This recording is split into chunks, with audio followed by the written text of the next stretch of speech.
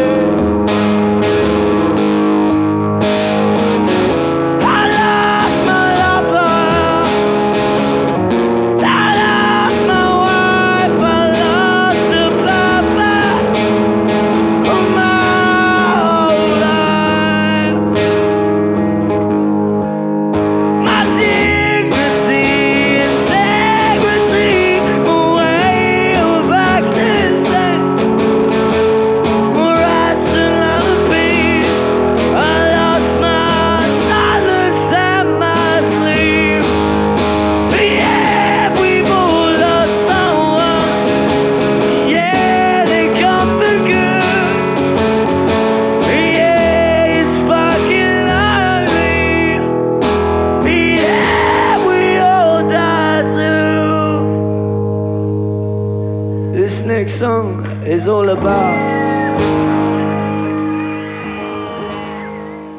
This next song is dedicated.